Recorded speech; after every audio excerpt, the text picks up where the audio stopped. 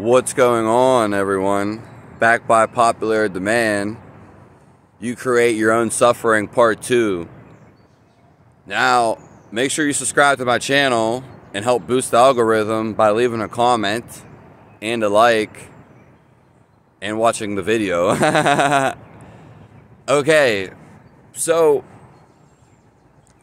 all the suffering that you create, at least 99% of it, is inside of you.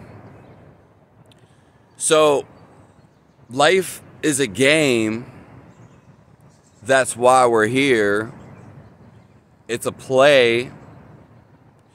So, you might have heard a thing called karma. And basically, you are in your own play. You are in your own Shakespeare. You are in your own theater. If you just sit back which that's a whole nother video, and realize this, then you'll be like, oh, everything's a joke. If it's not a joke, what is it? It's a drama. They create dramas. That's why people love dramas. Because they like to use their minds and they like to battle each other with their minds. The mind, there's something behind the mind, which is called life Ooh. Life is everything. It's more than the mind. It's it's a different intelligence, though I don't really like that word. It's behind it. It's a different dimension. Your mind gets logical tasks done. It works very little as into what reality is. There's there's a there's a brain behind that, if you will. So when you're in a relationship and you argue,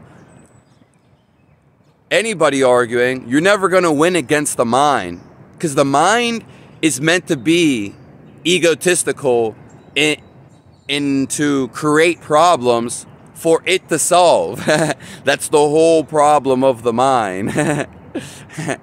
so when you're going in drama with someone or in life, it's or hear thoughts in your head because your mind's never going to stop ever until you step away from it. Learn to get away from it or see past it. Arguing with someone's pointless because their mind is guaranteed to win. it's designed that way.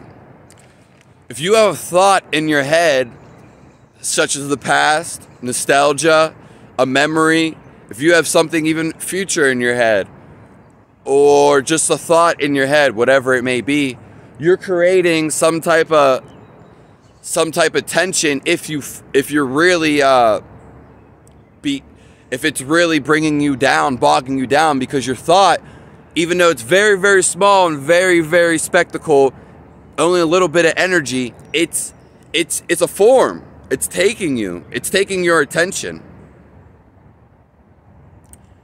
Taking your energy. And thus you're falling into this and it's ruining you and you're not aware of it. So you become aware of it. the whole meditation is not necessarily sitting down and watching your thoughts. You can watch your thoughts at any time. You want to get to a point where you don't have thoughts. That's what then you won't have this drama, these problems, the suffering. The whole reason that you suffer, I'll say it again, is so you undo your suffering and you realize you don't have to suffer anymore because you create the suffering. oh, I'm not this good. Oh, I'm I'm ugly. Oh, why that happened to me? You know, my tooth, they got a long mustache. He got long hair. He's an ugly male. All these things probably are not someone else said from their mind. It didn't even come from yours. But now it is coming from yours because their infection, their infectious mind. I don't want to make this too long. There will be a part three of this video. Yes, there will. Have a nice one. Thanks for tuning in. Subscribe to the channel. You can make donations, Cash App, Snap, crackle, fizzle. Leave a comment and a like. Thank you.